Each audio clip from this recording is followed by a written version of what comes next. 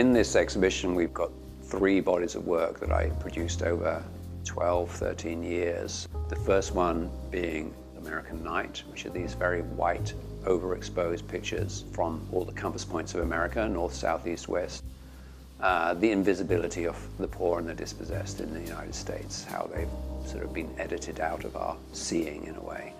The second, chronologically speaking, and, and body of work that's presented in its entirety here is called A Shimmer of Possibility, um, where you'll see these stuttering sequences of very innocuous everyday moments that I share through my photography with people I met traveling around the United States. And then finally, work called The Present, which is uh, street photography from New York City in diptychs and triptychs, examining the confluence of people and moments and attention that you have as you navigate one of America's major cities in, at this point of time. Well, these three bodies of work that I described have, have here been united under the title The Whiteness of the Whale, which is the chapter 42, I believe it is, of Moby Dick. It's one of these bizarre chapters where Herman Melville uh, rants about the color whiteness. Um, and my interest in that book and that title obviously came initially from American Night. These white, blinding white pictures driving across America with this obsessive, monomaniacal pursuit of something.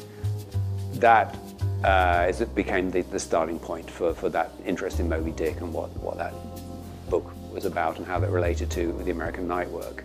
Um, it doesn't you know, I don't want to make people believe that Moby Dick is some key to this work. It's not. It's a useful title. It's a beautiful title. It refers to being in the belly of the beast, the whiteness of the whale.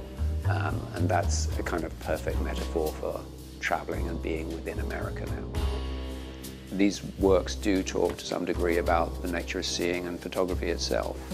Uh, to be more specific than that, you know, in some ways, the, uh, the American night pictures, the white pictures, um, deal with uh, intensity of light flooding in, obviously, and, and, the way you control that on the camera is with the aperture on the camera, the iris, that, that little sort of eye that opens and closes, that controls the flood of light or flow of it in, into the, onto the uh, camera.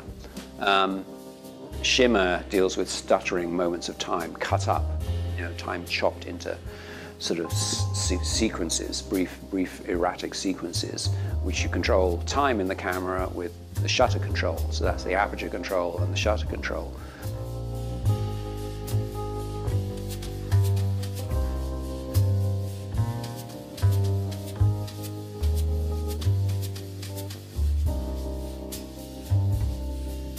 And um, the present, the third and final uh, body of work here, the New York Street Pictures, have very shallow focus on them.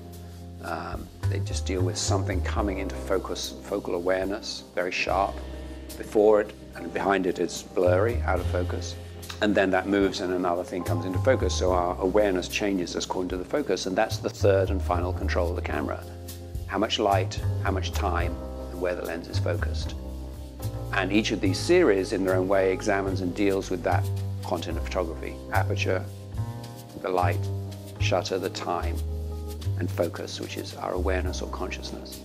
Um, and that's where it becomes more interesting because at the end of the day, I don't really care about three controls on the camera. But in terms of light and time and awareness or consciousness, that's far, far more interesting and far more provocative as, a, as something worth exploring.